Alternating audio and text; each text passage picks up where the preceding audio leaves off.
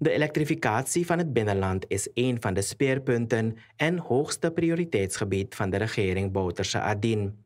In dit kader is in 2019 gestart met het plaatsen van stroompalen en het treffen van de voorzieningen voor verbetering van de stroomtoevoer naar Koinakondre, resort Marshall Creek en omgeving.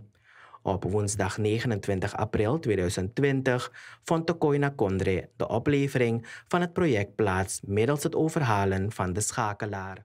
Ik weet niet, het is niet in woorden te beschrijven, omdat ik uh, nu geen DC meer hier ben. Ik ben nu eh, DC van het district Marowijnen Resort Zuidwest.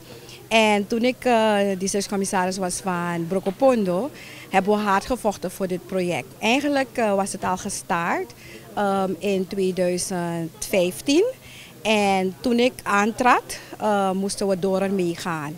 Um, de huidige minister van NH was toen nog directeur van Grasalco.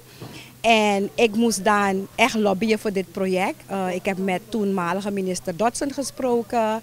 Uh, ik heb toen, um, um, en toen, want het valt onder um, elektrificatie binnenland. En daar had je uh, directeur Sydney, Harris, sorry, Harris. En we zijn hier gekomen met een, naar een meeting met de gemeenschap. Want ze wilden echt in opstand komen, niets gebeurde en zo. Dus ik heb Gracelco gebeld, omdat Gracelco um, al een band heeft um, met de gemeenschap van hier op basis van hun, um, hun um, verantwoordelijkheden naar de gemeenschap toe, omdat ze ook um, ontplooien qua business in het district Brokopondo. Corporate Social Responsibility.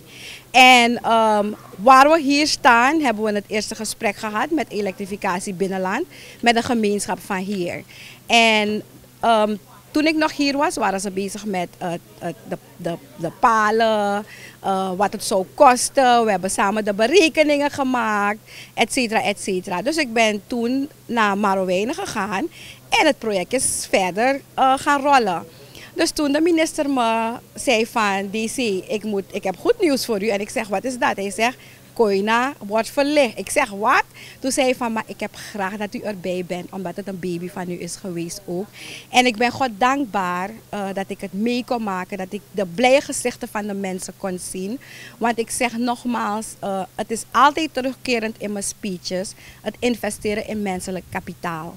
En elektrificatie is een van de belangrijkste dingen, omdat dat ervoor moet zorgen dat mensen gezond kunnen eten, studeren en nog wat andere dingen, productie, et cetera, et cetera. Dus um, het is een, een opwellend gevoel. Uh, niet dat ik wil tranen, maar omdat ik blij ben dat de mensen toch dit tot stand hebben zien komen na zoveel hard werken. En ik ben de regering bijzonder dankbaar. Uh, onze president natuurlijk, uh, want hij heeft ook erop gestaan dat dit moest geschieden. En dat de minister, de huidige minister, die toen directeur was van Grasalco, en ik probeerde geld van hem af te troggelen om dit project tot uh, werkelijkheid te maken. Dat ik samen met hem vandaag dit mocht doen. Ik wil de totale gemeenschap feliciteren van Brokopondo. De totale gemeenschap van Suriname, want het is ontwikkeling van ons land. En namens mijn gemeenschap Marowijnen feliciteer ik de gemeenschap van Brokopondo met dit heugelijk feit. Suriname voorwaarts. Dank u.